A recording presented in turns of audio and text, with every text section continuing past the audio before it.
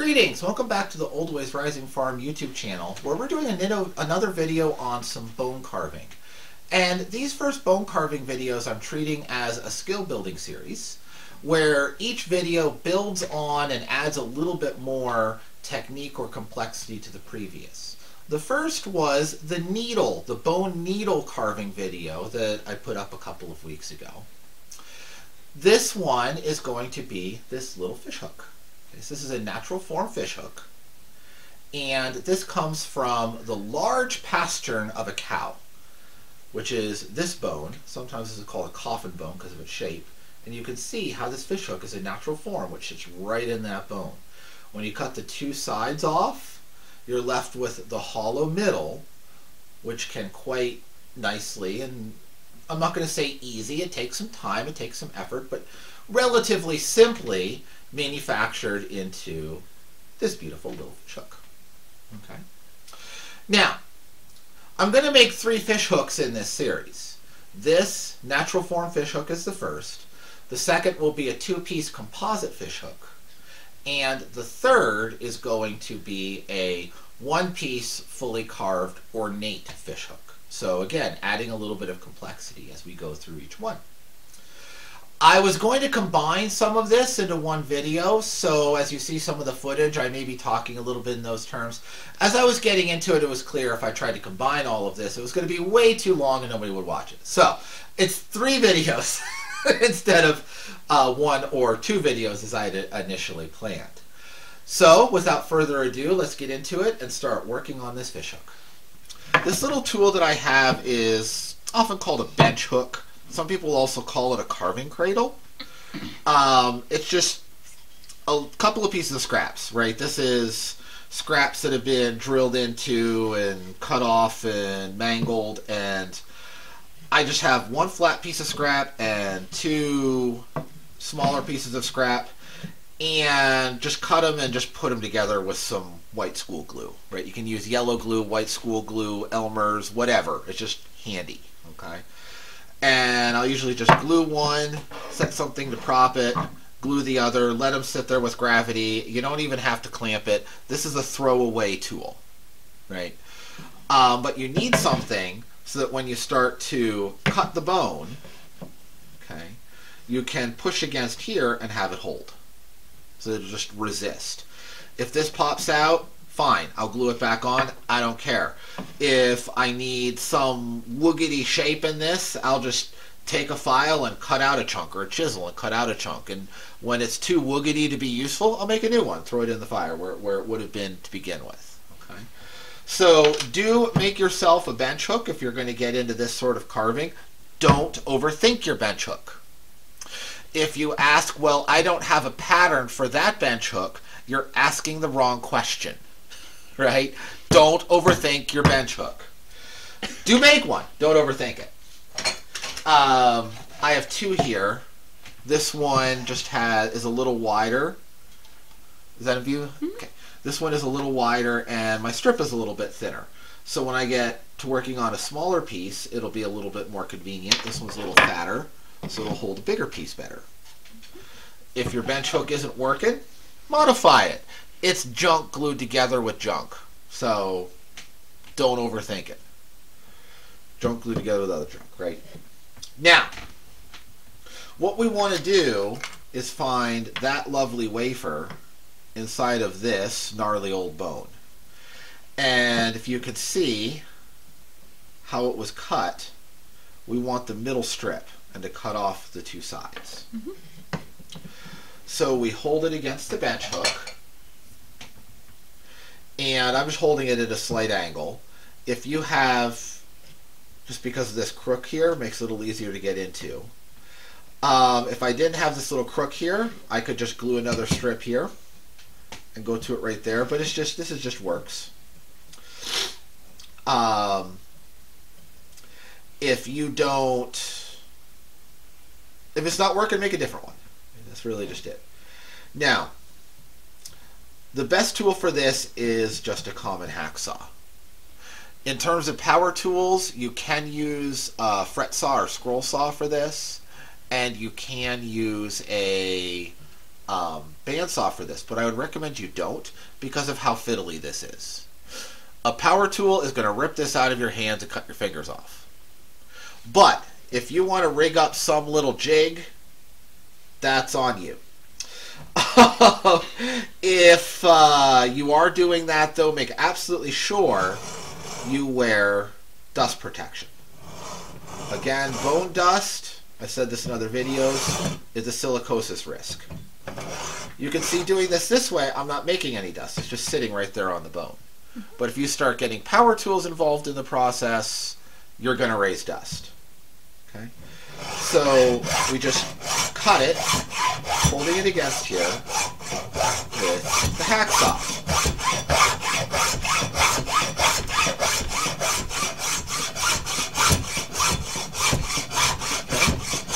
If I need to cut into the wood, I'll cut into the wood. No big deal.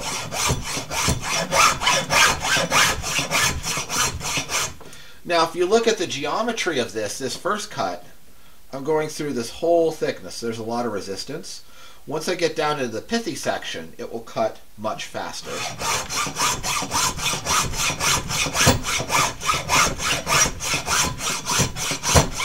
And the blade just kind of disappears like that. Okay. Now, just kind of keep carrying the cut along.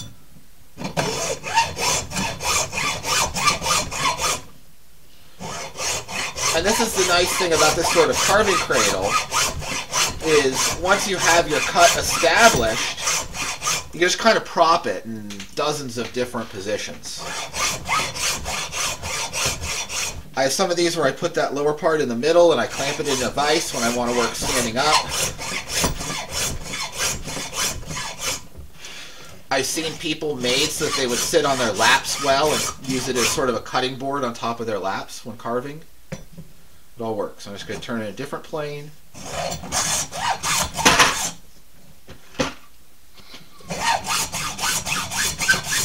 Drawer pops open. That's okay. It's an old sewing machine table that I'm working on here because it was handy. The sewing machine no longer works. Don't worry, I'm not going to fill up a good sewing machine with bone dust. This is kind of the hard one we need to get up on this angle. Make sure you don't cut yourself. Yeah. That's also kind of an advantage to a hacksaw is they're not real aggressive teeth in terms of doing damage to you. Comment still holds though. I'm a clumsy person. Last little bit is always the hardest to hold and get into. I'm going to have to do it this way. It's bouncing out. Now if it bounces out, a trick you can do is take a file, take the corner, and make a little groove for the blade like that.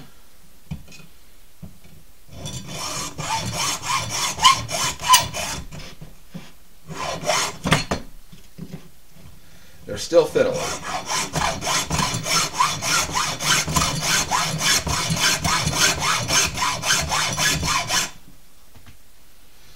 Okay.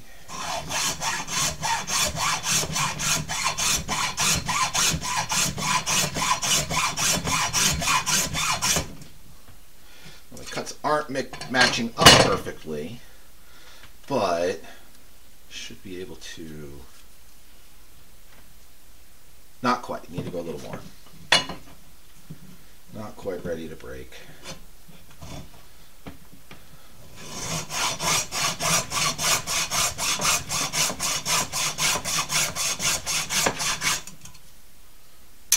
There we There we go. Now, I got a little bit off center on that one, you know, compared to this one. But, see, it's mostly the same thing. Now, the marrow pocket is all in there. This one doesn't have a whole lot of marrow on it. But I, w- I will keep this. That's a nice, relatively flat piece for making an inlay or carving some other little thing out of. Mm-hmm. So, since these are kind of greasy, I'm chucking the other two are in here. Just chucking them in some soapy water. Degrease them overnight, like mm-hmm. that. And dripping soapy water. And then you would do the other side.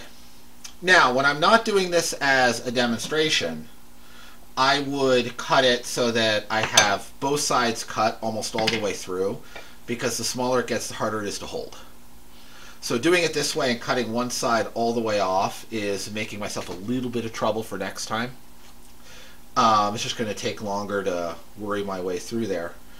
But if you can leave, you know, cut down halfway, you know, half through here and then half through there, leave them attached, you'll be a little better off. But for now, I'm just going to set that aside and talk about the next step on this one. Okay. And that's just going to be to smooth it off. Now, two ways to do that. One is with a file. Okay. And we could just, again, you see I'm popping it against this stop. And put it whatever angle I like, and file it down. And that makes pretty quick work. Now, I have three Farrier's files, which is what I would prefer to use for this. I can't find any of them right now. So I'm using not my favorite file, but that's okay. Okay, still works.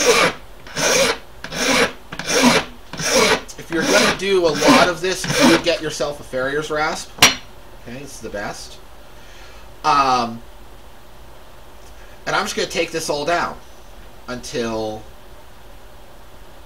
I have most of this webbing. I'm going to leave a little bit of this webbing just for a little extra thickness. Okay, I'm going to take most of it out of there and get a centered piece that, since this is about three mils thick, I want to go, I'll have it three or four millimeters wide.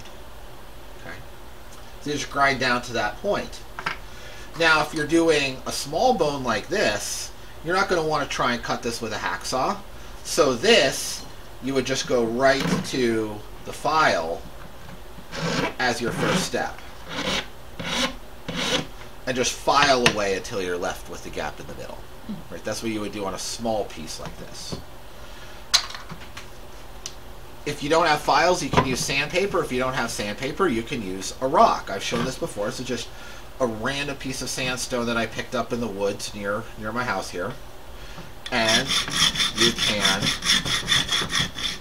just rub the piece here on the rock.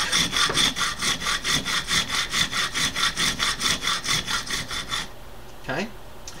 And that is roughly equivalent to about 80 grit sandpaper. Right? So if you can imagine how long it would take to do this on 80 grit sandpaper, it's about the same as a rock. Um, also, you know, you, you can use chunks. You could break, split off little pieces of this and use them as files if you want to get into specific areas. You know? But, totally legitimate, you can use a piece of cinder block and rub this on. So don't think because you don't have one specific tool that you can't do a project.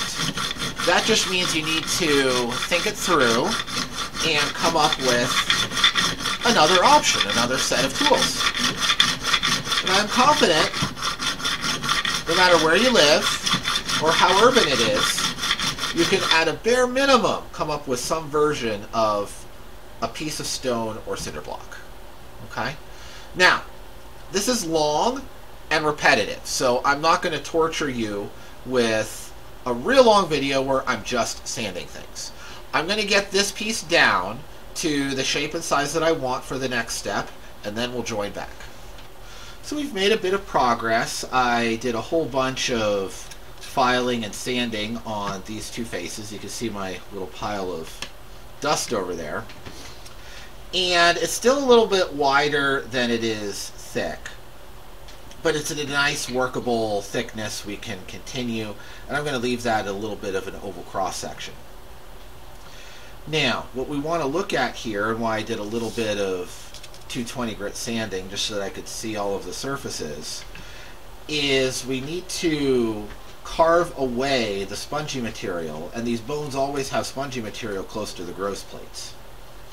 Now these two sides are quite solid because these take the entire weight of the cow when it's walking around. this spongy material helps absorb shock, which is going into the ends of the bone. But we don't want to carve into this and be left with that spongy material as the only thing holding the point on our hook. So I want to carve through the spongy material and to get into good solid bone before I make final decisions as to where I'm going to put the hook, especially here at the bend. Um, this is going to get cut off about there, so I don't care about this material down here. It's just going to get cut off anyway.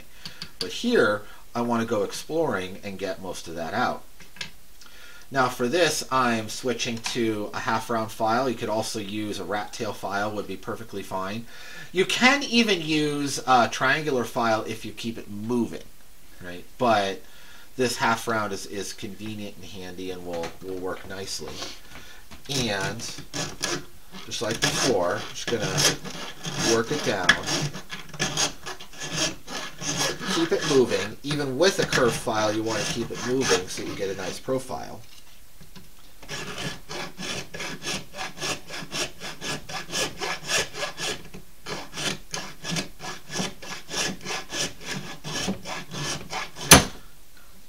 And you break your file. They're brittle. That's okay.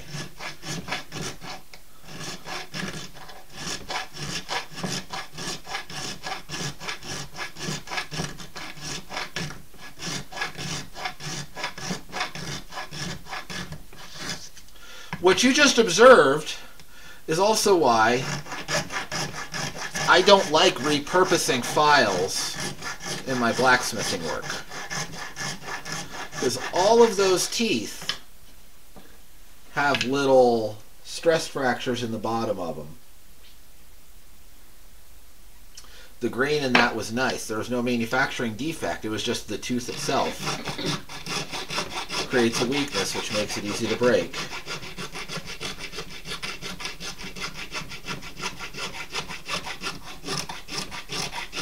I was putting a little bit more pressure on it than I should have because I'm trying to do this quickly for the sake of the videoing.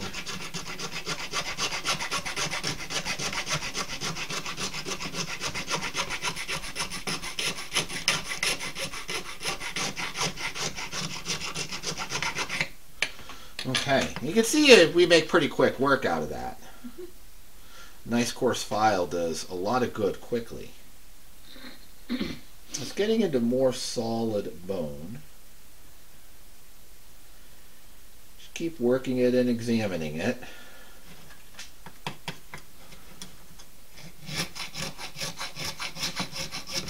A little rough spot in there.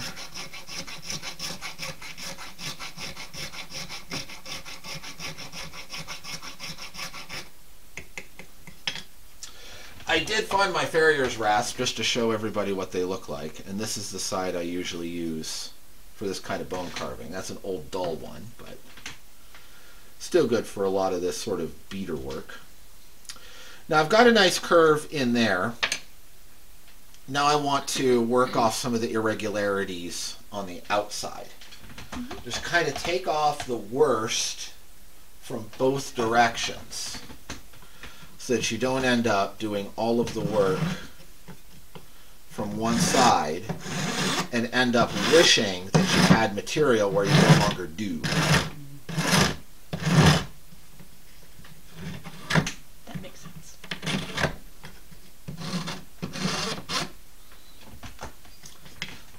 The pattern on this one is getting caught in diverting the file. So I'll switch back to this one.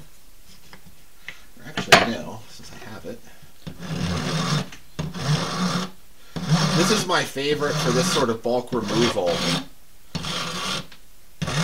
Not because this fine side cuts a whole lot faster than the other files, but because it has such a wide, flat face, it makes it very easy what angle you're cutting at and reference things. Now this is a natural material. When you're working a natural material, you don't always get to choose every contour in the final surface. You're working with it. You don't have full control over it.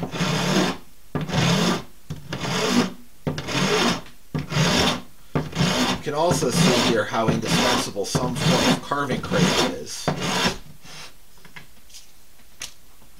And why I make them, you know, cheaply out of whatever scrap is sitting around, because it's an expendable part that you're going to destroy in use.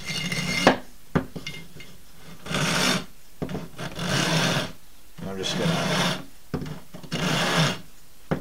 run the file edge right against it to help me reference where it is.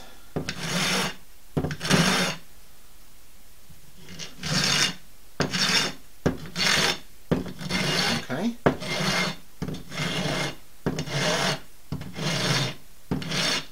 You can see I'm just working for a nice, flat, even set of contours on this piece of bone. So, in the interest of brevity, I'm going to turn the camera off now. I'm going to keep working this down, and when we get ready to cut out the final shape, we'll rejoin. Okay, so I've rounded this off, and I've done the least amount of work on here as I can and still have a reasonable shape. The reason being, a lot of this spongy material goes almost all the way to the edge. Now, that doesn't mean it's completely devoid of, of structural integrity, but it does mean that I'm going to leave it thick here, right, to keep as much of that integrity as I can. So you can see the shape of the hook starting to develop in here at this point. And now I want to cut off the big block in this corner. So just to kind of mark where I'm going with just a file so you can see the groove, um, I'm going to cut it right along there. So this will be the top. And I'm going to cut it again right here in the middle. So that will be that will be the bottom. So I'm going to cut off this square.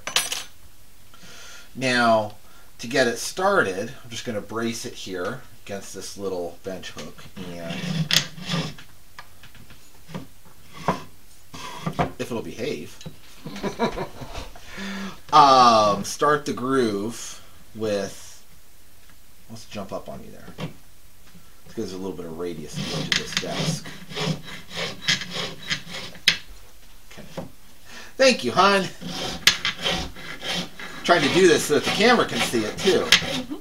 Start a little groove there with the file. And then we will go back to cutting gently and carefully. No need to be in a rush. If I was doing this in a proper workshop, I'd put a little clamp on the side of that.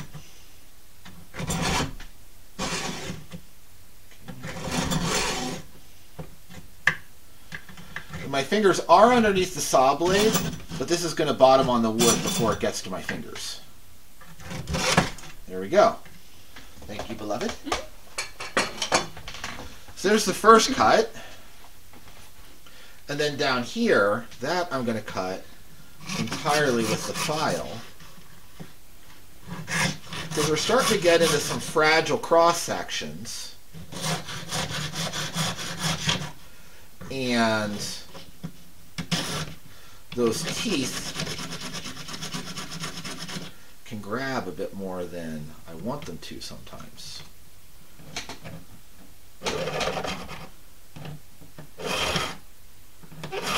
So we're just going to cut through this. Make sure.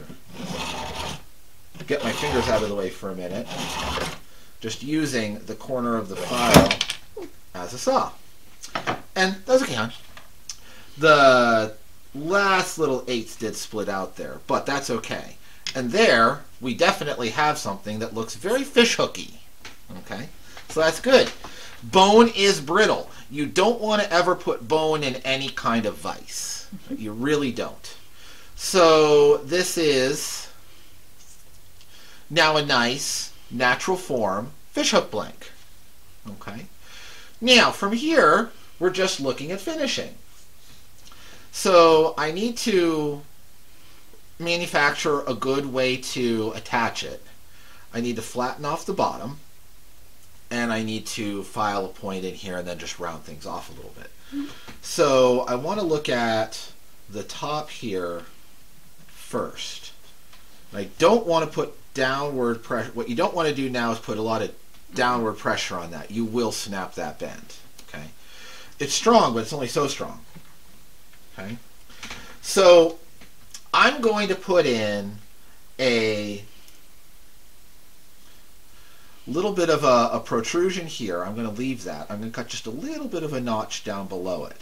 You can see this is solid, that is spongy. So I don't want to cut too deep. Mm -hmm. I'm going to do a little bit. And I'm going to taper the front off. This will allow for tying a um, Polynesian style snood lashing for attaching this hook to a line. I'm just evening things up a little bit here. Okay. This is small files, gentle work.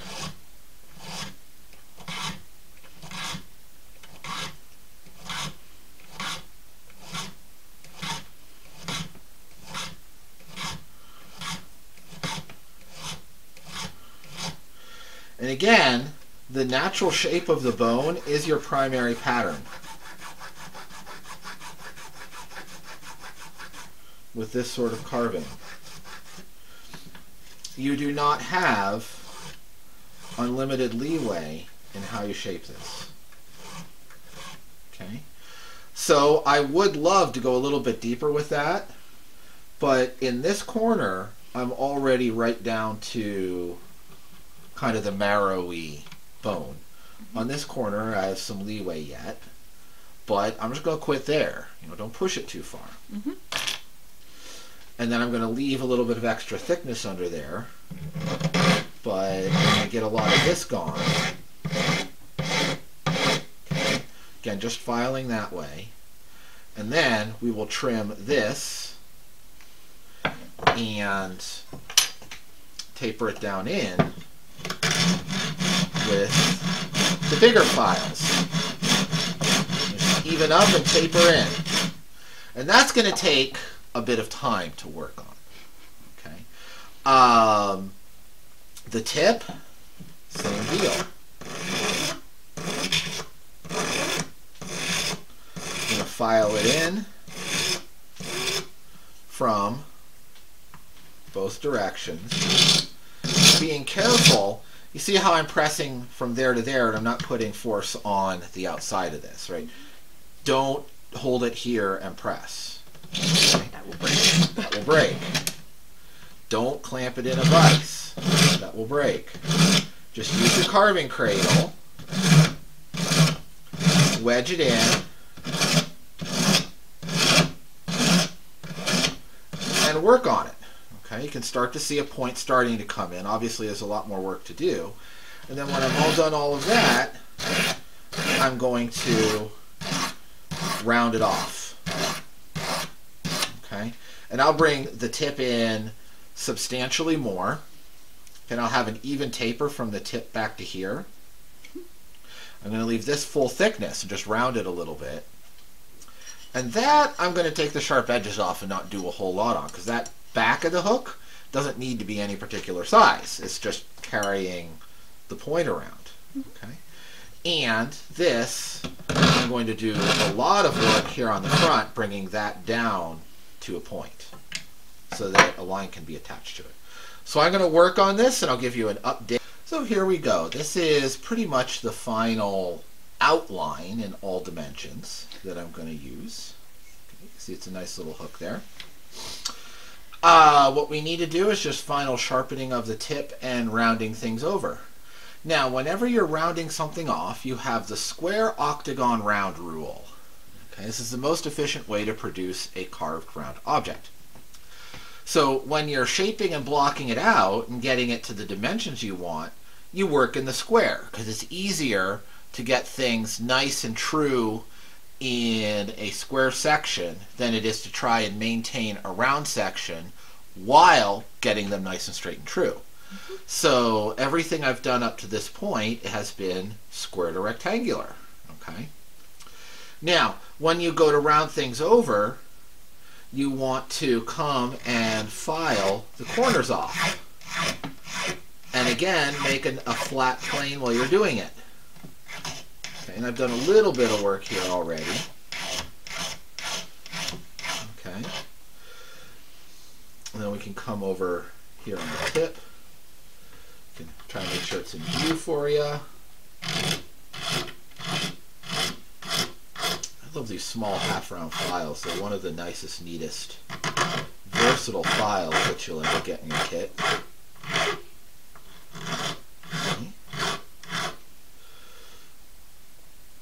And the reason you want to do it this way is because you establish straight lines and you can easily see how those straight lines relate to each other.